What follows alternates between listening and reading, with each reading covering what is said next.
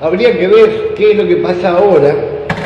cuando empecemos a, a rediscutir qué, qué, ciudad queremos para Trelew en los próximos 20 o 30 años, porque nosotros nos encontramos ahora con el interrogante que el gobierno provincial dice que va a planificar Chubut, va a convocar a planificar la provincia como un todo, y me parece que parece espectacular que como provincias se tenga un plan estratégico muy eh, debatido, muy compartido, muy participativo con todos los sectores, no solamente los productivos, sino también los sectores que tienen que ver con la ecología, los que tienen que ver con la cultura, con el deporte, en todo eh, el ámbito de, que hace la convivencia de las comunidades, en este caso de Chubut, pero yo creo que un prerequisito es arrancar primero por cada localidad, de abajo hacia arriba, en cada territorio, de ir definiendo el perfil que cada territorio considera que va a pelear después en el todo, en el plan general, en el Chubut, eh, un, una imagen eh, homogénea, integrada, eh, que haya sido discutida ideológicamente, tecnológicamente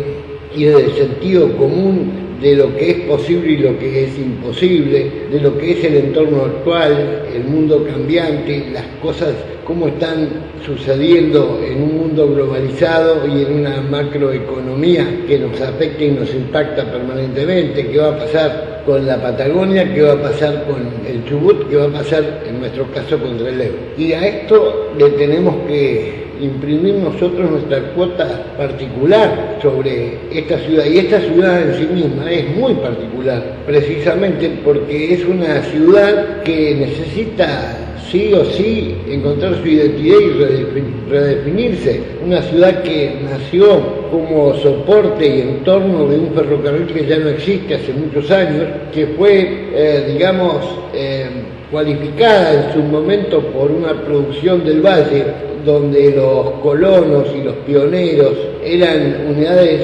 familiares con suficiente cantidad de tierra para una explotación que les permita ser sostenible, pero hoy son sucesiones familiares. Una chacra de 40, 50 o 60 hectáreas pasa a ser de tres o cuatro dueños. La mayoría de esos dueños ya no vive en, en no vive de, la chacra y tampoco hace una sociedad de responsabilidad limitada o, la transforma en una empresa familiar con una eh, visión, con una misión eh, y con un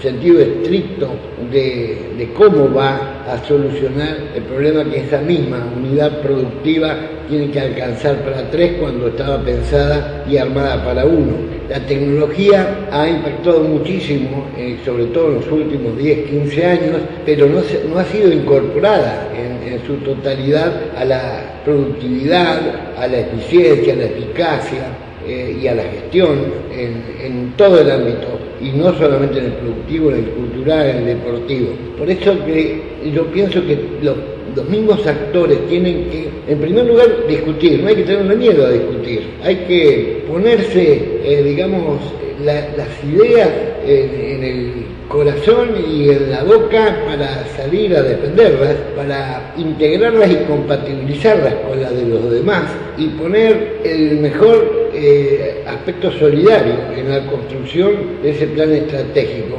porque va a ser la matriz y la estructura en la cual nos vamos a tener que mover en los próximos 20, 30 años, y si está bien construido ese plan estratégico, va a formalizar los procesos, las herramientas necesarias para que trascienda la visión y la misión de un gobierno de cuatro años en particular, de un intendente, de un gobernador. La, la idea es que toda la gama y el espectro político se subordinen a una voluntad mayor plasmada en ese plan estratégico, tanto para la provincia, como dije antes, que me parece excelente, pero también respetando el sino y el destino y la identidad de cada localidad en particular desde el pensamiento de los que eligieron ese lugar para vivir, para poder eh, formar a sus chicos y a sus hijos y a sus nietos y para poder darles una certeza, por lo menos, en qué nos vamos a mover y que en definitiva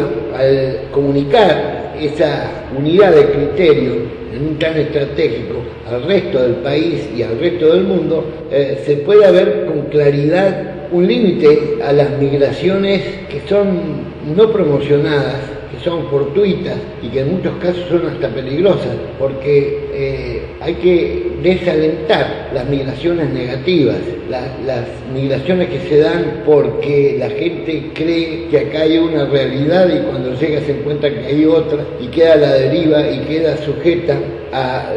su, existencia, su futuro, a la benevolencia de un Estado paternalista, asistencialista, con un costo muy alto para todos los tributenses y, por supuesto, en el caso nuestro, para todos los trelegüenses. Si no eh, planificamos armoniosamente todo, seguramente vamos a seguir teniendo los problemas que tenemos. Dos o tres familias por día que llegan a radicarse, un déficit de 4.500 viviendas anuales solamente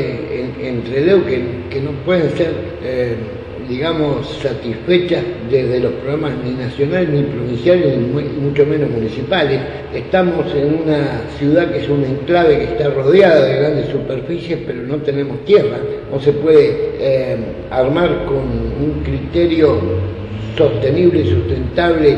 una planificación urbana futuro dotada de todos los servicios porque eh, existe una burbuja inmobiliaria que hace que el cortoplacismo con el que nos movemos no invierta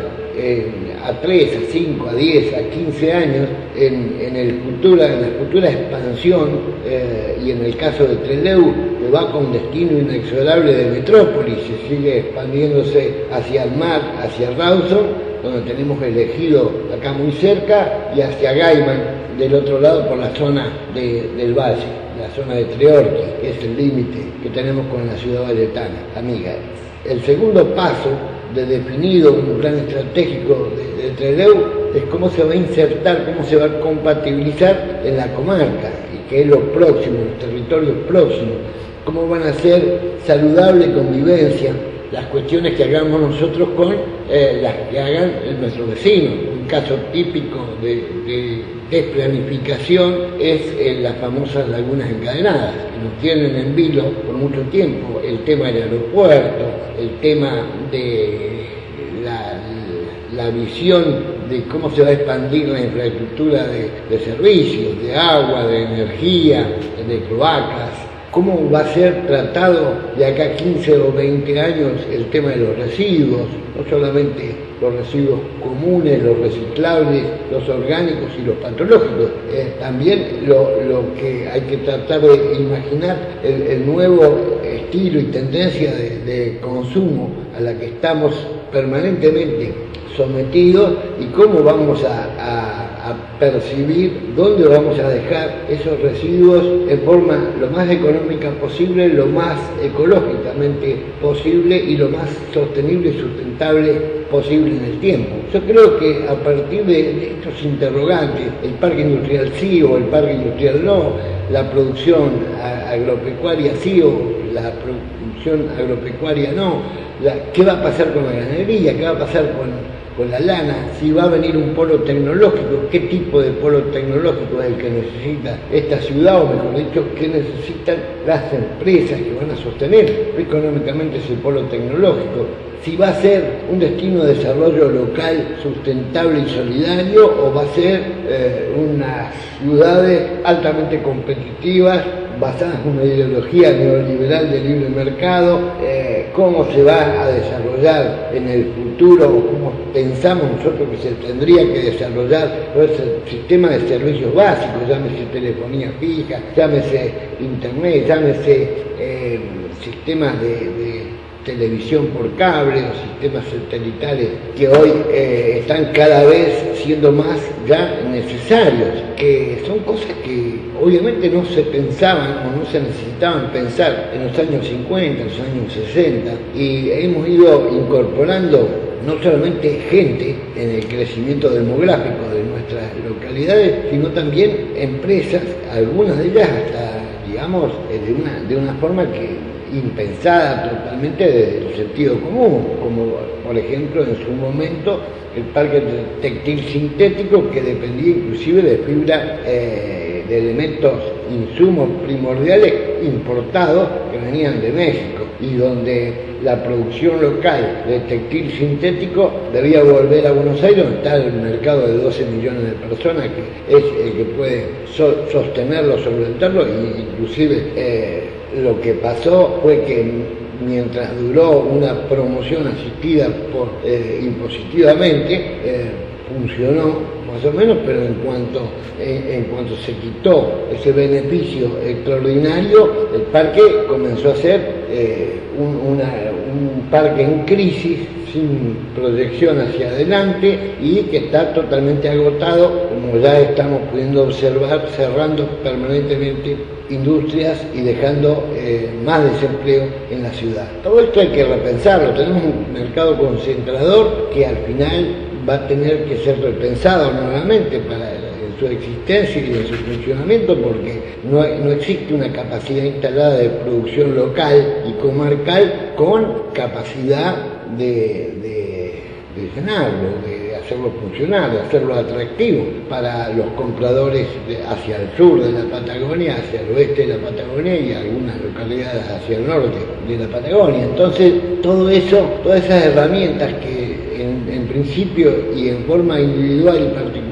son buenas herramientas, son positivas, inversiones positivas, que incluso han sido reclamadas durante largo tiempo, hoy nos parecen obsoletas o falta de integración a una realidad que estamos viviendo donde la gente está empezando a utilizar la tierra productiva para hacer country, para hacer loteos y la que las están comprando ni siquiera son los compradores locales, sino que son inversores que vienen de ciudades como Comodoro, de Puerto Madryn y también de más al norte, que eh, en realidad no vienen a hacer una inversión para quedarse, sino es una inversión pura y exclusivamente eh, de sostenimiento o de rentabilidad inmobiliaria y no le va a aportar absolutamente nada a, nuestra ciudad en cuanto a futura creación de empleo. Me refiero. Bueno, esto es lo que, el preámbulo de lo que queríamos discutir ahora y obviamente eh, lo, vamos a ir profundizando en todo lo que va este año, porque la idea es discutir, debatir, no tener miedo a la discusión, no tener miedo a juntar contra propuestas ideológicas desde las que propone el neoliberalismo puro a, las que pueda proponer un un ámbito de economía social solidaria y a las que pueda una posición intermedia aportarle a ese futuro plan estratégico de la ciudad de Trelew. Nos vemos en el próximo programa.